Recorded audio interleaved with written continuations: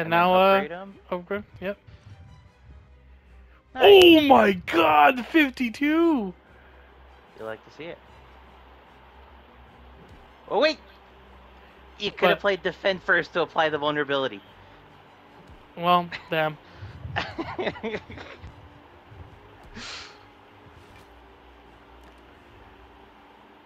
Damn, you're right. Six, is that gonna kill you?